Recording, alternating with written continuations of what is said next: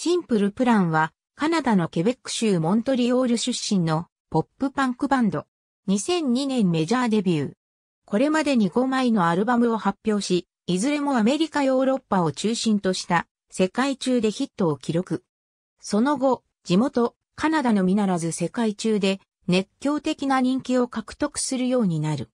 2010年にはバンクーバーオリンピック閉会式でパフォーマンスを行う。バンド名は映画シンプルプランから5人全員がフランス系カナダ人。1990年13歳だったピエール・ブービエとチャック・コモーがバンドリセットを結成。パンクバンドの MXPX、 Ten Foot Pole、フェイス2フェイスとのツアーを通じ徐々に人気を博していった。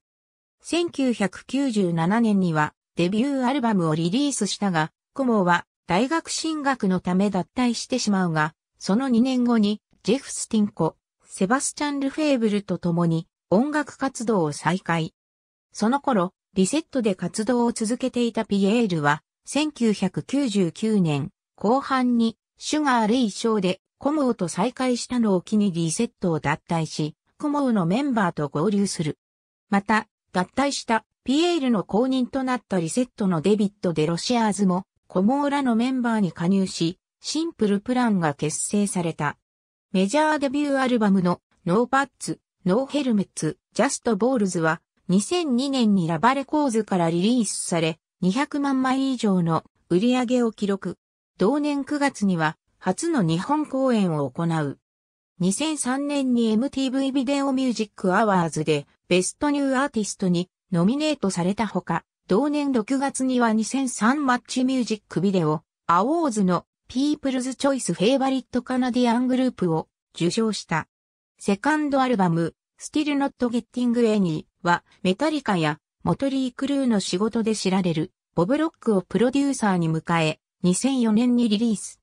世界で300万枚以上のセールスを記録し、アメリカでプラチナディスク、日本ではゴールドディスクに認定されている。そして、セカンドアルバムから4年近くを空けた2008年2月12日に、サードアルバム、シンプルプランをリリース。また、2010年、バンクーバーオリンピック閉会式において、サードアルバム、シンプルプラン収録のセカンドシングル、You Are With, エーライを披露している。2011年5月、ピエールとセバスチャンがシンガポールで開催されたカンファレンス、第6回ミュージックマターズに参加した折に、東日本大震災の被災者救援のためのチャリティーシングル、フィックス U のレコーディングに参加した。2011年6月22日にリリースされたフォースアルバム Get Your Heart On に収録されている This Song Saved My Life に関し、ツイッターで寄せられたファンのコメントからできた曲であると発表している。2015年12月4日、東京と大阪で開催されるパンクフェス、プンクスプリング2016への出演が発表された。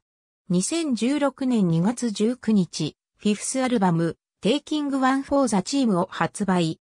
4月4日にエビスリックウィドリウム、6日には名古屋クラブクアトロにて単独公演の開催を予定。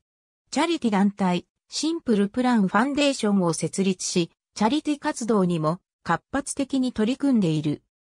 2005年12月までに10万ドルを超える寄付を集め、2008年6月には、障害や病気で苦しむ子供と家族のために10万ドルを寄付している。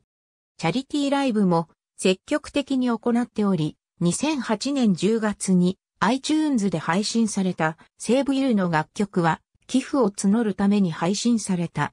2011年3月11日に起こった東日本大震災の被災者のためカナダの赤十字を通じて1万ドルを寄付。公式ウェブサイトにて、ヘルプジャパンと題したオリジナル T シャツを販売。T シャツの収益は、すべて赤十字を通じて、東日本大震災の被災者救援に充てられることになった。ABCDE シンプルプランバイオグラフィーオンヤフー、ミュージックハット AB、シンプルプラン、プロフィールバイオグラフィーリンク。バークス、ジャパンミュージックネットワーク。2015年12月5日閲覧。ABC、シンプルプラン、シンプルプランプロフィール。ワーナーミュージックジャパン。2021年3月2日閲覧。日本の被災者チャリティのために18カ国から49アーティストが立ち上がり、日本のための曲が完成。ワーナーミュージックジャパン。2021年3月2日閲覧。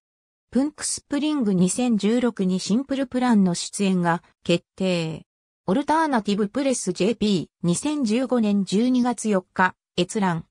シンプルプラン来年2月にニューアルバム Taking One for the Team リリース決定。激ロックエンタテインメント。2015年12月3日閲覧。PUNKSPRING 2016に出演するシンプルプラン4、4に恵比寿 LIQUIDROOM にて単独公演の開催決定。激ロックエンタテインメント。2016年2月27日閲覧。